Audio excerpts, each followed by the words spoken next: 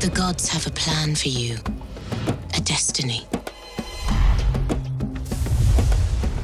We make our own destiny, Princess. How crass you stand before me with no blood to fuel your fame. Well, she believes that her destiny is to protect the dagger no matter what, but that changes actually when she meets Dastan.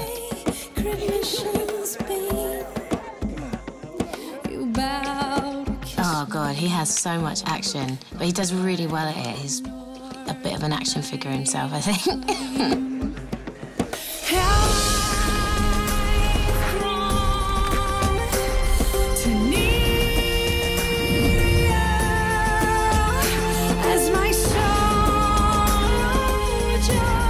I think that there's signs all along the way throughout our life that tell us things that we can either pay attention to or, or not.